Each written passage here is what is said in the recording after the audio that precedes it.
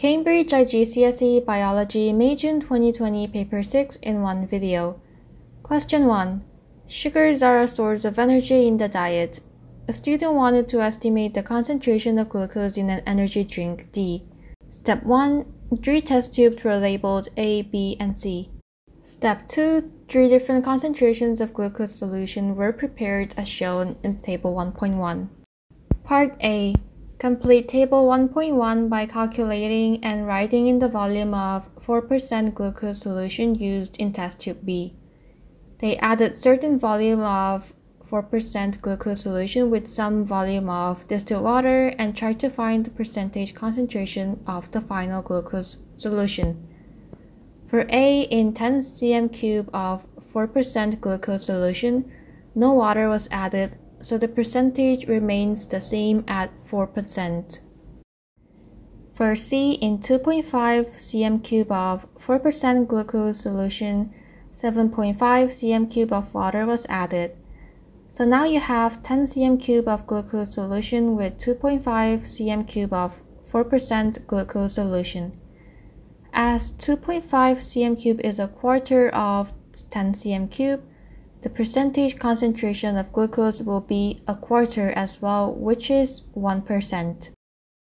For B, we know the volume of distilled water and the percentage concentration, which is 2%. 2% is half of 4%, meaning only half of the glucose solution is added. So the answer is 5 cm cube. Step 3, 5 cm cube of Benedict solution was added to each of the glucose solutions in test tubes A, B, and C. Each test tube was gently shaken for 3 seconds to mix the contents. Step 4, 5 cm cube of Benedict solution was added to test tube D which contained 10 cm cube of energy drink D. The test tube was gently shaken for 3 seconds to mix the contents. Now we have added Benedict solution to test tubes A, B, C, and D. Step 5. Hot water was put into a beaker that was used as a water bath. Step 6. The temperature of the hot water in the water bath, initial temperature was measured. So now they're going to carry out Benedict's test. Step 7. Test tube A was put into the water bath and the stop clock was started. Step 8. Test tube A was observed and the stop clock was stopped when the contents of the test tube first changed color. Step 9. Test tube A was removed from the water bath. Step 10, steps 7, 8, and 9 were repeated with test tubes B, C, and D. Step 11, the final temperature of the water in the water bath was measured at the end of the investigation. Figure 1.1 shows the appearance of the thermometer in step 6 and in step 11. Record the temperatures shown in figure 1.1 in table 1.2. The left one is 80 degrees Celsius and the right one is 60 degrees Celsius. Figure 1.2 shows the stop clock readings for each test tube in step 8. Convert the times shown in figure 1.2 to seconds. Prepare a table and record these times in your table. There should be two columns for test tube and time in seconds. Test tubes from A to D and time should be converted to seconds by multiplying the minutes with 60 and adding the seconds. So for test tube B, it should be 1 times 60 plus 27 equals to 87. For test tube C, it should be 2 times 60 plus 45.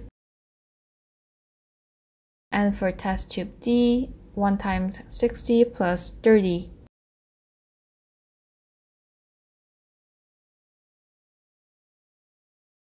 Estimate the concentration of glucose in energy drink D using the information in table 1.1 and the results in your table in 1A3. So looking at the stop clock, the time taken for test tube B and D are quite similar, meaning they probably have same percentage of glucose. In table 1.1, the percentage of test tube B was 2%, so for test tube D, it should also be 2%. Explain how you estimated the concentration of glucose in energy drink D in 1A4. Well, I've just explained it. The time taken for B was closest to time taken for D.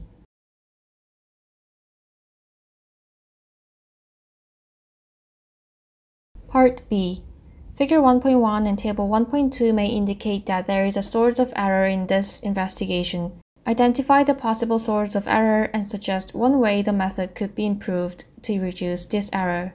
This is why we need to read the steps carefully. So going back to the steps, in step 10 it says they're going to repeat the experiment for B, C, and D starting from step 7. But when you think of it, as time passes, the temperature of the water bath would decrease. This is the error. So the source of error is the temperature has decreased and the improvement that can be done is to maintain the temperature. We can do so by using a thermostatically controlled water bath. I would say this is the best option, but you can also say by using a Bunsen burner or adding hot water throughout the experiment and continuously monitoring the temperature.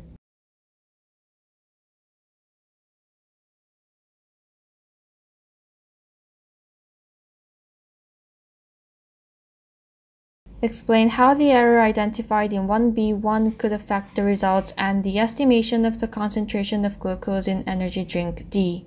There can be many consequences, such as the time taken for the color to change will be slower since the temperature of the water bath is not hot enough for the reaction to occur. Then, we won't be able to identify the concentration of glucose with accuracy and the concentration can be underestimated since the time taken will be longer than usual.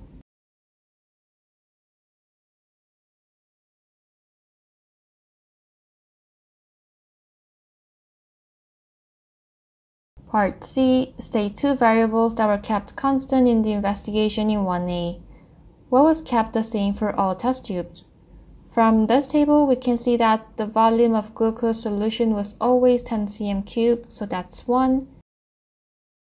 Also in steps 3 and 4, the volume of Benedict solution added were all 5 cm cube. Although not given here, the concentration must have been equal in order to carry out a fair experiment. And the test tubes were mixed for 3 seconds, and this can also be another point.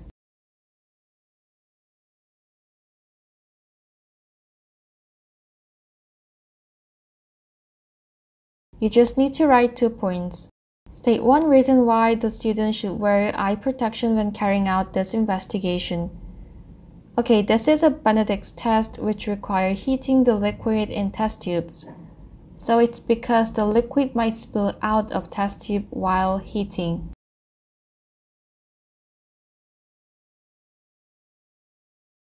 Barley grains are used in the food industry as a source of sugars. Barley grains contain starch. Starch can be broken down into sugars by enzymes. Students made a starch suspension from barley grains to investigate the breakdown of starch by enzymes. The starch suspension contained 100 grams of starch. They mixed the starch suspension with enzymes and recorded the mass of starch remaining in the mixture at different times. The results are shown in Table 1.3.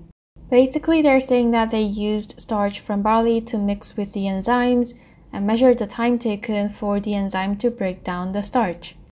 This column shows the remaining starch after being broken down by the enzyme over a certain period of time.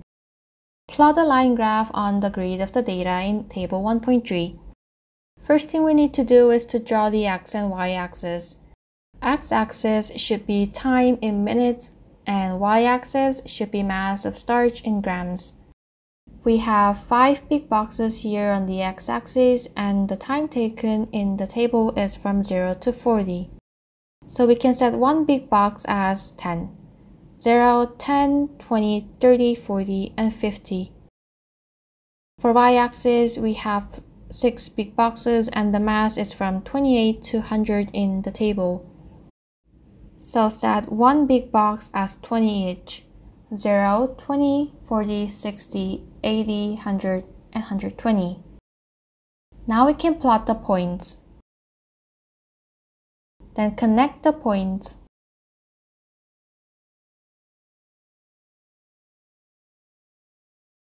The graph should occupy at least half of the grid, so keep that in mind while choosing the scale. Describe the trend shown in your graph.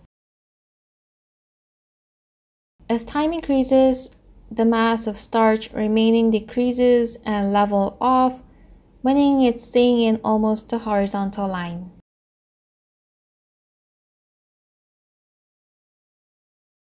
Estimate the mass of starch remaining at 15 minutes. Show on your graph how you obtained your answer. Find where 15 minutes is at in your graph. Draw a straight vertical line and read the point that it meets your graph. Leave these lines on your graph, they are marked as well. Calculate the rate of starch breakdown in the first 5 minutes using the information in table 1.3 or your graph. The rate is always something divided by time, and this time it's the starch breakdown, so it will be the amount of starch broken down divided by time. Time is 5 minutes as given in the question and the amount of starch broken down can be calculated from table 1.3. Initially there were 100 grams of starch but it became 58 grams after 5 minutes, so we can assume that 42 grams of starch were broken down. 42 over 5 equals to 8.4 grams per minute. Part E. Plan an investigation to determine the effect of temperature on the breakdown of starch by enzymes. We have our big six mark question here. Well, remember in part A, B, and C, we have talked about identifying the glucose or sugar concentration. And if you break down starch by enzymes, you get sugar as well. So you can use the Benedict's test here again and its steps were already given in the previous questions. Okay, and there is a format that this kind of questions need to follow in order to score a full mark. You need to write about the method in the beginning, then the independent variable, and how you're going to control it. Next, the constant variables and dependent variables. Lastly, ways to improve the experiment. First, the method. Add Benedict's solution to test tubes to measure reducing sugar produced say at least every one minute. Don't forget to mention thermostatically controlled water bath to maintain constant temperature.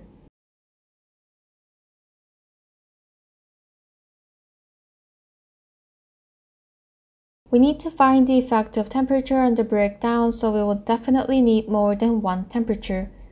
The temperature is the independent variable. Place test tubes containing starch and Benedict's solution in different intervals of temperatures such as 30 degrees, 50 degrees, and 70 degrees. Some variables need to be kept constant. The enzymes should be of same type for all temperatures and in all time intervals. The concentration of starch and enzyme should also be the same pH should be kept constant since enzymes are pH sensitive. State what is the dependent variable. It's the concentration of reducing sugar produced as a result of breakdown of starch. Finally, mention ways to improve accuracy or some safety procedures. Repeat the experiment twice and wear goggles since we are heating the liquid with Benedict's solution. Question 2. Part A. Human reproduction involves a male gamete sperm and a female gamete ovum. Figure 2.1 is a photomicrograph of a single ovum and many sperm cells during fertilization. Line AB represents the diameter of the ovum. Line CD represents the length of one sperm cell.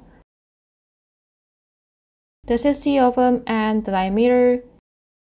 This is the sperm cell and its length. Measure the lengths of lines AB and CD on figure 2.1, include the unit. This is simple. Just measure the lines with your ruler. It should be in millimeters. For AB, it's around 69 to 71 millimeters, and for CD, it can be from 21 to 23 millimeters. The actual diameter of the ovum is 0.1 millimeters. Calculate the magnification of the ovum in figure 2.1 using the formula. magnification equals to the length of line AB over actual diameter of ovum. We just need to use the formula and substitute the values. Length of AB was 70 millimeters and the actual diameter is given, it's 0.1 millimeters. So 70 divided by 0.1, it's 700. Put an X in front to show that it stands for magnification. Calculate the actual length of the sperm cell using the magnification you calculated in 2A2 and the formula magnification equals to length of line CD over actual length of sperm cell. Give your answer to two decimal places. This time we know the magnification and the length of line CD, but not the actual length. If we substitute the values, it's 700 equals to 22 divided by actual length. Then actual length equals to 22 divided by 700 and it's 0.03 millimeters rounded to two decimal places. Part B. Figure 2.2 is a different photomicrograph of an ovum and one sperm cell. Make a large drawing of the ovum and the sperm cell shown in Figure 2.2. Label the ovum on your drawing. Drawing diagrams is one of the trickiest questions in paper 6 as they have very strict rules. Firstly, you need to draw with a single line, for example, like this. If you draw it with many lines going over one another like this, it's wrong. Also, never shade your diagrams even if the photo given looks dark or something. Another rule is that you need to occupy more than half the space given here. It needs to be pretty big, don't draw it too small, but of course, don't go over the given space. Here's my drawing. They said draw the ovum and the sperm cell, so only draw those two. The proportion of the ovum and the sperm should be right. Obviously, the ovum should be much bigger. Ovum can be drawn as a plain circle, but for sperm, you need to show its physical features. A round head and a long tail properly shown. You'll need some practice to draw in a clear and a neat way. Finally, label it. Draw your label line with a ruler and make sure it touches the object you are labeling. This is the ovum and this is the sperm. State three visible differences between the ovum and the sperm cell that can be seen in figure 2.2. Alright, the most visible one is that the ovum is larger than the sperm. Then in terms of shape, ovum is round and sperm is long and thin. Also, if you observe carefully, you can see that ovum has rough surface but sperm is quite smooth. One extra point is that ovum has a uniform shape, it's a plain circle, but sperm becomes wider at one end.